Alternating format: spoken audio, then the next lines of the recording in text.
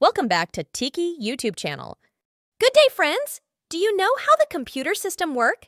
Today, we are going to take a look at how the computer system works. Are you ready? Let's go. Why do we use a computer?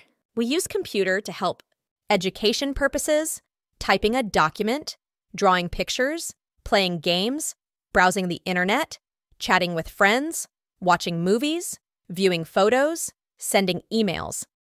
What is a computer? A computer is an electronic device that works with electricity, and also it is designed to fulfill our needs. It works with given information. Information can be numbers, letters, pictures, sounds, movies. Computers do not have a brain to think and come up with new ideas like we do, so computers can follow the given instructions. Most of the devices we see in our daily lives were created using computer programs. For an example, mobile phones, washing machine, television, fax machine, oven, fridge, CCTV cameras are operated by computer programs. Computer programs included in such devices are called embedded computer systems. How do computers work? Okay, now let's see how the computer works. Basic functions of a computer are input, process, output. Imagine you have a robot friend and you can talk to it or give it little commands. When you tell your robot friend to do something like, please, my robot friend, will you please clean my room? That's like giving input to your computer. Input is like giving instructions to your computer. It's telling the computer what you want it to do.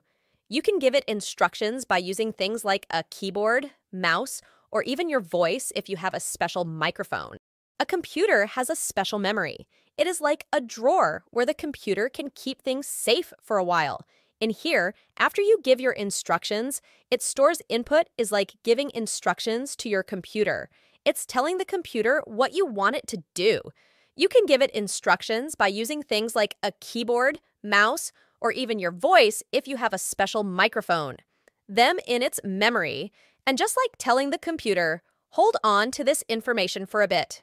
We'll need it soon. Now, your computer has to figure out what you said, just like your robot friend needs to understand your commands. Inside the computer, there's a smart part called the brain, or CPU, Central Processing Unit. It takes your instructions and follows them step by step, doing all the thinking and calculations. After the computer has finished working, it shows you the results. This is called output. Output can be seen on your computer screen heard through speakers, or even printed on paper.